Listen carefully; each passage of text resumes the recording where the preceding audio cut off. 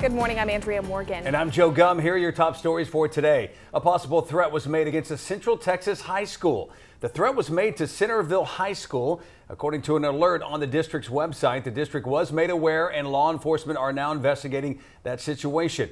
The district says the high school will have an increased law enforcement presence at schools throughout the day. Following the shooting in West Texas, a GoFundMe has put together a list of campaigns. You'll find links to those campaigns in this story on KXXV.com. GoFundMe says it will be updating the list of active funds created to help the victims and their families. Now it's time for a check on your forecast. Aaron.